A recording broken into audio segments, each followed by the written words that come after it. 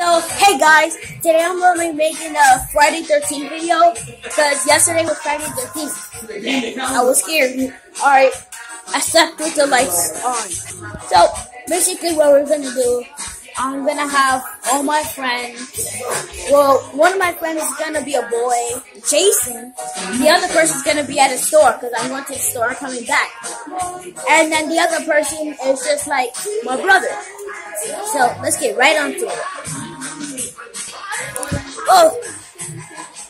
I need to go to the store. I forgot. I forgot. I need to go to the store. Look. Here's the store. Oh, hi, lady. Hi, Um, I need. Oh, never mind. I'll I'll just go by. All right. I I don't really need this. Okay. Ah, Jason!